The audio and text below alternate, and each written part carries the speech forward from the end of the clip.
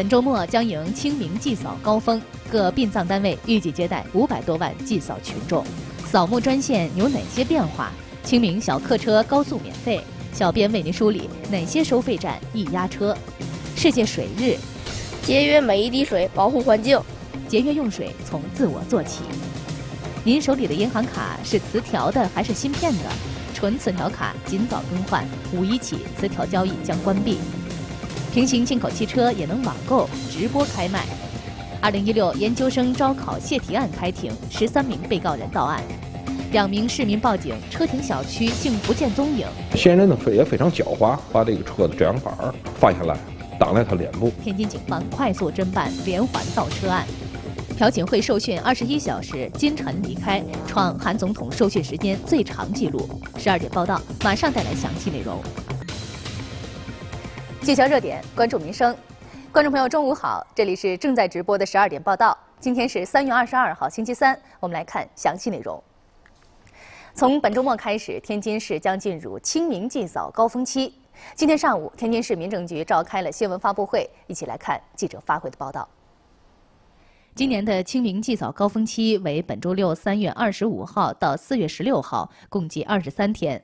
各殡葬单位预计接待五百多万祭扫群众。按照天津市烟花爆竹安全管理办法的规定，各殡葬服务单位禁止燃放烟花爆竹，服务单位将为市民提供电子鞭炮以及鲜花换鞭炮和纸钱等服务，倡导文明绿色祭扫。天津市还将计划举办二十二场集体共祭，此外，各社区街道也将开展社区共祭。社区文明共祭计划开展五百二十四场，利用融媒体这个。新的这个方式，线上线下共同祭扫，倡导呢清明期间文明祭扫。今年天津还将继续开展“海之棉骨灰撒海”活动，天津气源将在四月二号开展植树葬和生态葬活动，天津寝园永安公墓也将举办环保生态葬。天津市殡葬服务总站还推出三千元一站式文明殡葬服务。从市客管办获悉，本周末开始，本市十八条公交清明扫墓专线开通运营。今年扫墓专线与去年相比有所变化。其中，去往北仓公墓的线路撤销五十路王顶堤终点站和四十五路澄江路终点站；去往天津寝园的线路撤销体院北公交站和白庙站；撤销去往成林公墓的扫墓专线；去往天福陵园的线路撤销天津站后广场站。去往永定塔陵的线路撤销金钟河大街站和百货大楼站，撤销去往寿寝园的线路；去往七城寝园的线路撤销八百五十一路中心公园站和一百五十七路东风里终点站。此外，今年除了去往静怡园的线路中途设站，其他线路均为直达线路。清明公交扫墓专线发车时间集中在六点三十分至七点三十分左右，公墓返回发车时间多为九点至十点三十分左右。免费乘车证件无效。从交管部门了解到，今年清明小长假期间，高速公路继续实施七人座以下小客车免费通行政策。因扫墓与踏青车流叠加，四月二号至四号及清明节前后几个休息日，高速公路将出现交通高峰。据交管部门预测，本市通往各墓区的高速公路沿线车流量将呈辐射状增加，部分重点收费站可能出现压车情况，其中包括永定塔陵周边、东华林公墓周边、盘山烈士陵园周边、静海殡仪馆周边等高速站。同时，一些临近外环线的高速公路收费站车流量会大幅增加。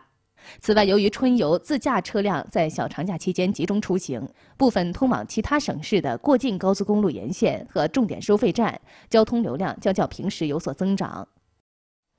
今天是世界水日和中国水周，天津各区开展活动，让更多人了解节约用水、健康用水的相关知识。水最后都到哪里去了呢？人不喝水的话，能活多久？今天，河东区开展节水教育进课堂活动，来自水利部海河水利委员会的青年志愿者们为同学们普及水知识。此外，志愿者们还准备了与水资源相关书籍送给大家，增强同学们爱护环境的意识。发现水龙头没有拧紧时及时拧紧；发现同学有浪费水时及时劝阻，让每一个同学都做一个节约用水的好孩子。可以一水多用。嗯，爸爸妈妈淘米、洗菜的水可以用来浇花、洗衣服，那些水可以用来擦地、洗马桶。向家人去宣传那种节水的意识。西青区水务局联合天津农学院举办了节水宣传进校园活动，通过宣读节水倡议书、发放节水宣传材料等方式，向学生宣传水资源现状及节约用水知识。就是这个水和我们刚刚在蓄水池看到的水一样吗？不一样啊，这非常非常的清澈了，对不对呀？所以这个水是达到了我们国家饮用水的卫生标准。在天津泰达水业有限公司的净水厂，来自虹桥区实验小学的学生们围绕着水厂工程师，仔细地了解自来水的生产流程和净化工艺，增长了许多知识，了解了自来水在流入千家万户之前，还要通过那么多复杂的工序。我也呼吁我的同学们，从我做起，从今天做起，节约每一滴水，保护环境。日前，东丽湖欢乐谷二期玛雅海滩水公园项目开工，将打造全新海滩水公园。全新的玛雅海滩水公园在原一期水公园基础上扩建七万平方米，将建设大型水上游乐设施二十六套，拥有世界级水上设备及先进水处理系统。我们二期建成以后，整个水公园将达到十五万平米。啊，这个体量应该是在国内的水公园也是排名前茅的。东丽湖欢乐谷二期玛雅海滩水公园项目将于明年五月正式开放。今天上午，北辰瑞景街桃花艺术节开幕，居民们借着大好春光赏花会友，展现绿色和谐社区。一大早，润义园社区的桃花源里就聚集了许多前来参加桃花节的居民。社区桃花节历经五年，已经成为一项文化活动品牌。居民不但可以赏桃花美景，同时可以参与文艺演出、书画展览、联谊会等多种文化活动。生活在这个社区里，感觉特别幸福。瑞景街还在原有基础上建成民俗园和健身园两个文化广场，提升改造绿化面积达一万平方米。呃，每年呢，我们桃花节都有一个不同的提升。这一块呢，也是说，一个是咱们居民现在的素质也明显提高，再一个也是通过咱们社区的环境有了很大程度的改善。冷空气蓄势待发，京城即将降温。不过，昨天气象部门公布的气象数据显示，就在这轮冷空气到来之前，三月十六号起，市区日平均气温已经连续五天超过十度，达到气候学上入春的标准，京城正式迎来春天。近十年的气象资料显示，本市入春最早的是2014年3月14号入春，最晚的是2010年4月18号入春，平均入春时间为3月29号。今年市区入春时间为3月16号，是近十年第三早的入春时间。从近三十年情况来看，入春最早的是2002年3月9号就进入了春季。气象专家表示，今年与去年入春时间仅相差一天，这就说明近两年气候变暖，入春时间的确在逐渐前提。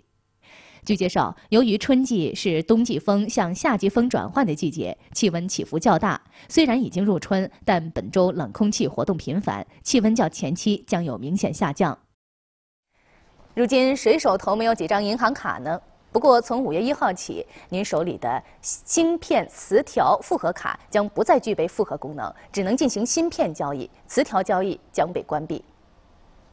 目前，银行卡就介质来看，主要分为三种：纯磁条卡、只带芯片的金融 IC 卡、磁条和芯片都有的复合卡。手头拥有芯片磁条复合卡的卡主，不需要到银行去换卡，可以直接使用。只不过现在其磁条卡功能被关闭了。复合卡也就等同于一张芯片卡来用了。之所以要关闭复合卡的磁条交易，是因为磁条卡的工作原理和磁带或磁盘类似，信息是静态的且不能加密，伪造起来十分简单。而芯片卡加密能力强，密钥管理相当复杂。此外，银行方面提示，由于纯磁条卡的存量仍然不少，持卡人应尽早到网点去更换芯片卡，手续很简单，带上身份证和原磁条卡即可。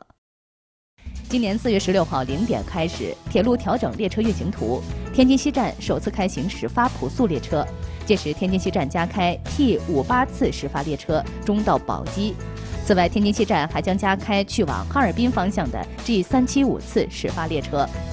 从下月起，天津将为符合条件的特困人员发放照料护理补贴，部分丧失生活自理能力的特困人员每人每月四百元，完全丧失生活自理能力的特困人员每人每月八百元。从天津市邮政管理局获悉，去年本市邮政业消费者申诉受理中心幺二三零五共办结消费者申诉九千三百五十一件。本市平均每天办结二十六个邮政快递申诉事件。从南开大学获悉，教育部日前公布二零一六年度普通高等学校本科专业备案和审批结果，该校精算学、投资学、葡萄牙语和意大利语等四个专业正式通过教育部评议，予以备案。下一节新闻，您还将看到，平行进口汽车也能网购直播开卖。二零一六研究生招考泄题案开庭，十三名被告人到案。特殊交通事故，飞机竟撞上轿车。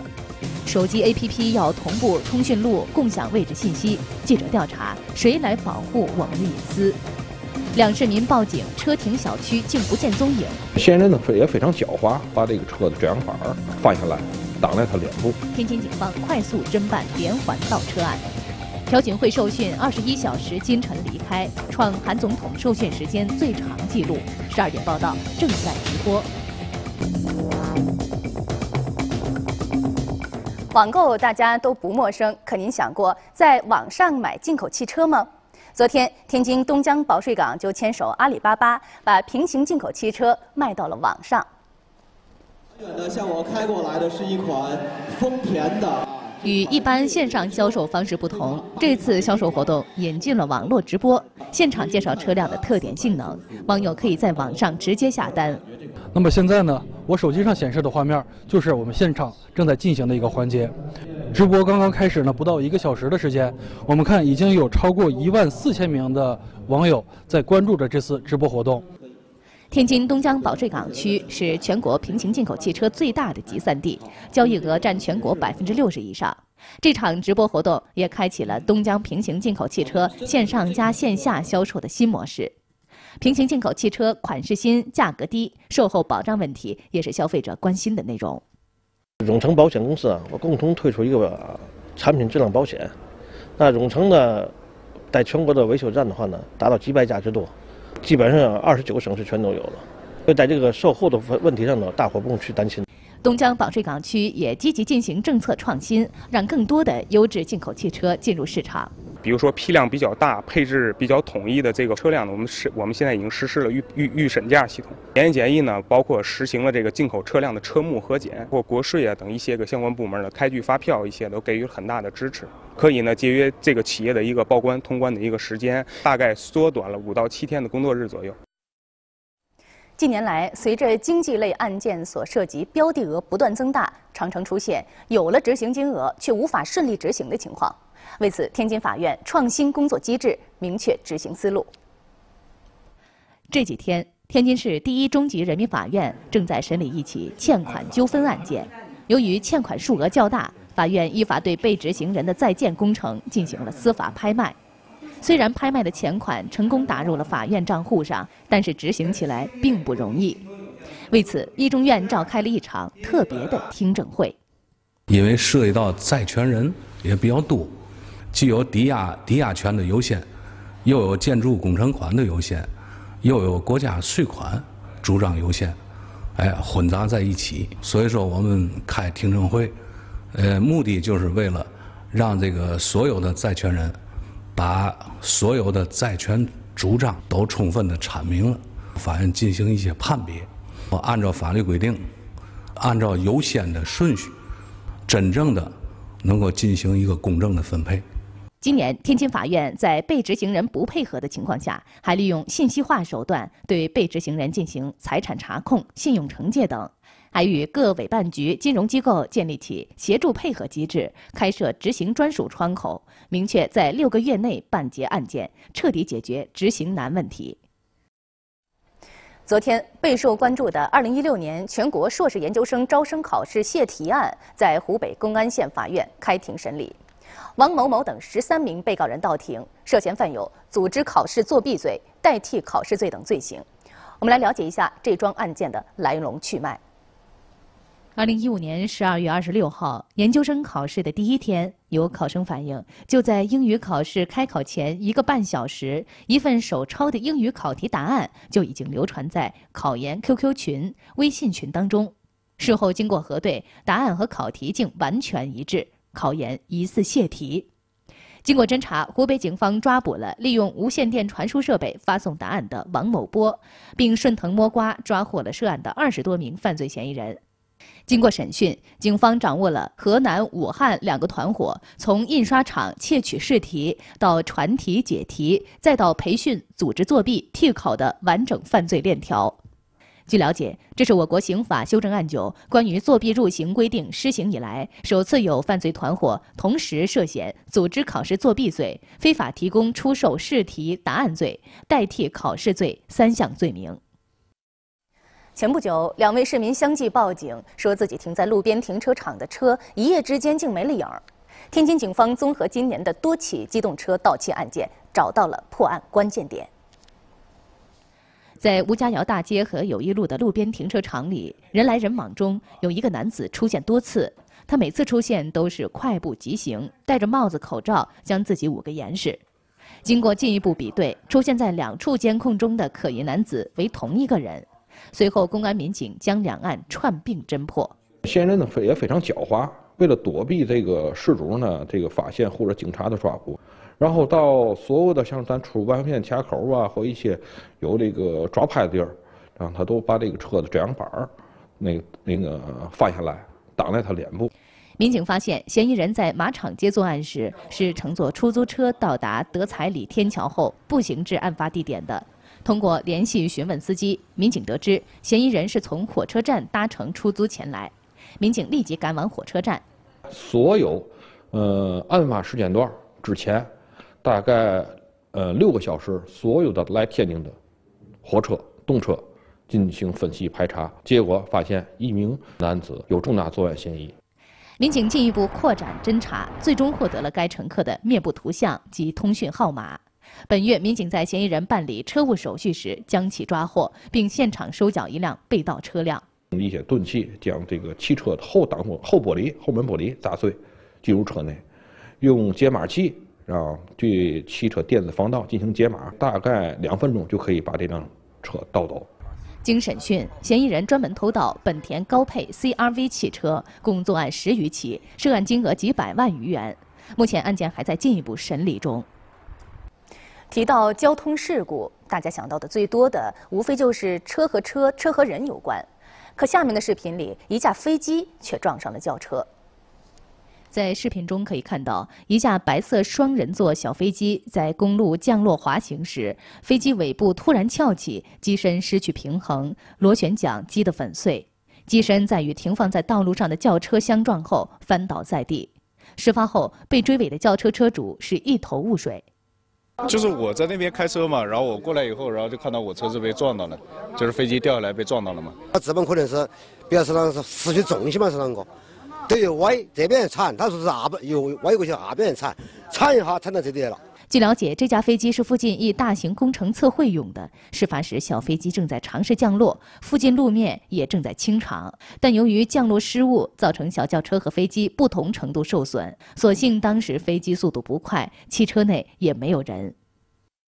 我们的智能手机里有不少 APP，当你在下载、安装、使用它们时，就会收到开放位置信息、同步通讯录等请求。这些涉及个人隐私的用户信息，也许就在不经意间被泄露了。目前，手机 APP 的下载和安装主要集中在以下三个方面权限：一是读取已安装应用列表权限，由此可以了解用户的行为习惯及分析同行情况；二是读取本机识别码。这是用于确定用户，因为每个手机识别码都是独一无二的。第三是读取位置信息权限，以此可以搜集用户活动范围。面对这些安装要求，用户又是如何选择呢？我没有办法，我要下载它 APP 啊，那不可能说我需要这个程序，那因为它影响我的隐私，那我就不下载。它是强迫性的。相关数据显示，二零一六年我国 APP 数量超过一千七百万个。数量如此庞大的 APP，如果越界索取了用户权限，将大大增加用户信息泄露的风险。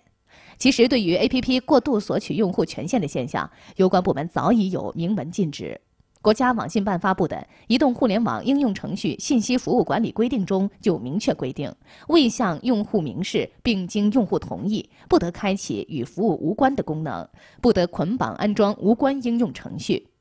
但是在实际操作中，很多企业都在无视这条规则，没有比较严重的这个法律责任，就是说他没有这个经济上的这种处罚，说大家都这么干，所以大家跟风就这么干，反正也没什么后果。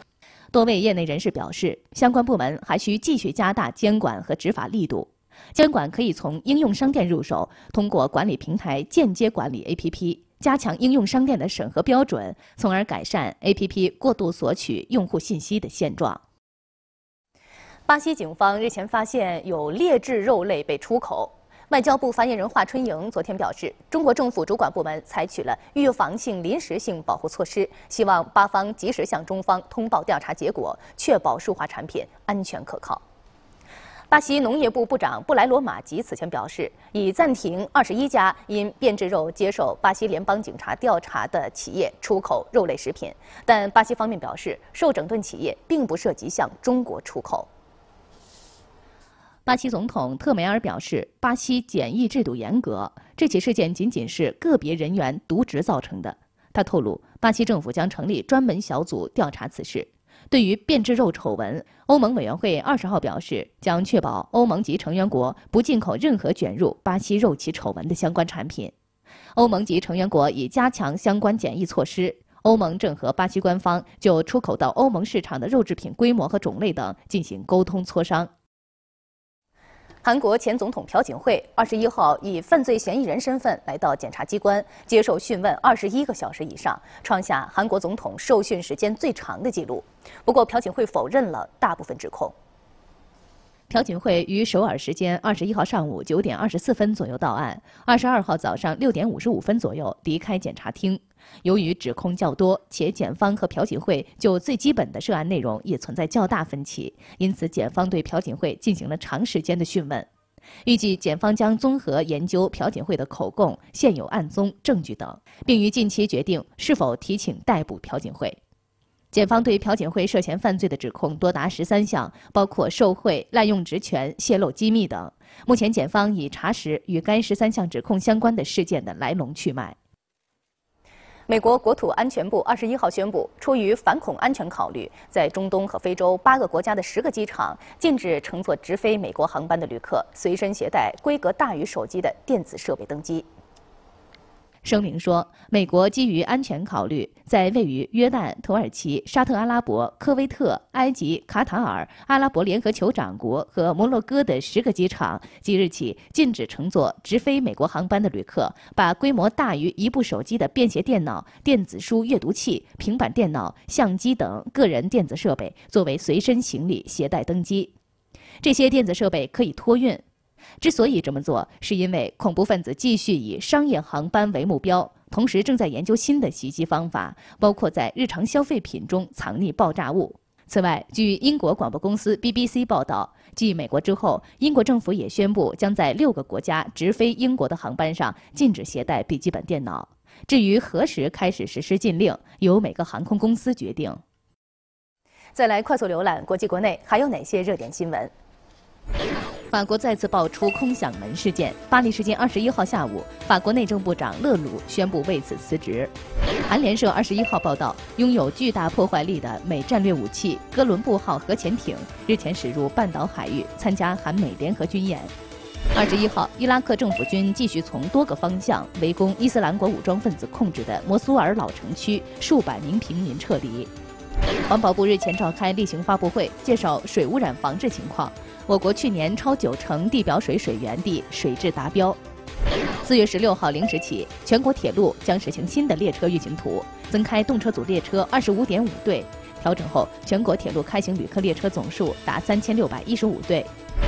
国家工商总局昨天在官网发布报告称，二零一六年全国工商和市场监管部门共查处消费侵权案件六点五万件，案值四点八四亿元；查处虚假违法广告案件二点三万件，罚没款约五点六亿元。由神舟十一号载人飞船带入太空的芒果幼胚细胞近日开始生长出全新的组织，这是世界首次进行芒果的太空育种试验。节目的最后，我们来关注最新的天气情况，来连线气象主播刘思妍。思妍你好，主持人你好，大家中午好。今年的三月十六号到三月二十号，市区日平均气温连续五天高于十度，达到了气候学上的入春标准。也就是说呢，三月十六号市区入春。然而，刚刚迈进了春天的门槛呢，新一轮冷空气就紧随其后。从昨天开始，一场雨雪天气入侵北方地区，预计今明两天这场雨雪的范围将会明显扩展。具体到我市来说呢，今天下午天气逐渐转阴，可能会有零星小雨飘落，陆地上的东南风持续吹拂，市区的最高气温呢仅在十三度上下。到了夜间呢，天空阴沉并伴有小雨出现，市区的最低气温呢将会下滑到五度附近，北部地区呢仅在一度左右。明天呢，冷空气继续影响我市，白天有小雨飘落。到了夜间呢，随着气温的下降，还可能会有雨夹雪出现。市区的气温呢，在十到三度之间，天气阴冷，大家注意做好保暖。好了，主持人，天气情况就是这样。聚焦热点，关注民生，十二点报道，明天见。